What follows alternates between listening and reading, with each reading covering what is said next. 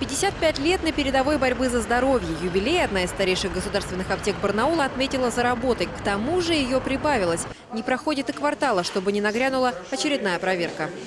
В этом году у нас уже было две проверки прокуратуры по ценообразованию. Нарушений у нас э, не было. То есть мы за этим очень четко следим.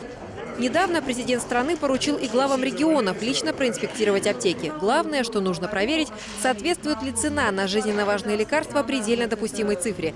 К таким препаратам относятся средства для лечения астмы, диабета, рака и других заболеваний. По закону на такие лекарства аптеки не могут накручивать более чем 30%. В этой госаптеке наценка не превышает 17%, в чем можно убедиться, сравнив ценник с базой данных. Для покупателей это главный аргумент – не ходить к частнику. Там чуть-чуть подороже, чем здесь. Мы не доверяем. Вот, понимаете, вот она старая аптека такая, давнишняя, советская, и мы э, идем именно сюда. Я э, вот в одной аптеке только что э, побывал.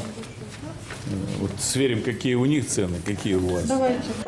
Для сравнения, губернатор заглянул и в коммерческую аптеку. Обычно статистика говорит о том, что в таких местах лекарства дороже в 2-3 раза. Однако по целому ряду позиций цены здесь оказались даже ниже, где на рубль, а где и на 4.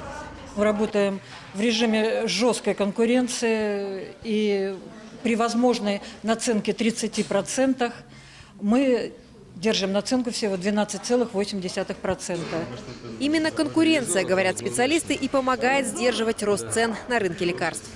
Если бы у потребителя не было возможности приобрести э, дешевые препараты в госаптеках, то частники непосредственно, они бы, э, воспользовавшись ситуацией, ажиотажем, они бы накручивали баснословные проценты бы и э, получали бы сверхприбыль, что в принципе в прошлом году и получилось. Э, Такие посещения я уже до этого делал. Я смотрю, как организована работа по продаже препаратов в сельских ФАПах. Я намерен э, дальше э, эту свою деятельность контрольную э, продолжать.